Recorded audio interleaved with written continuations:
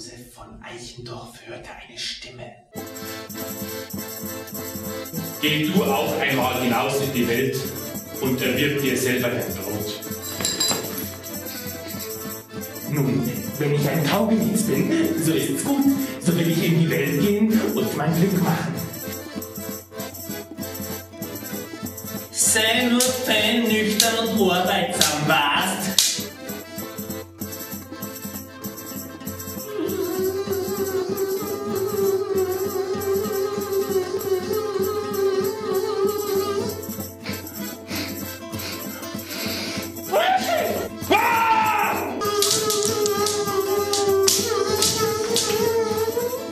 wird keinem an der Wiege gesungen, was künftig aus ihm wird.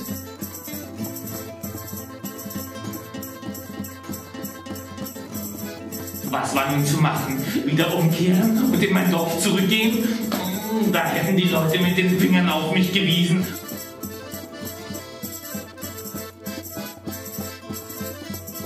Reisende auf der Suche nach der blauen Blume.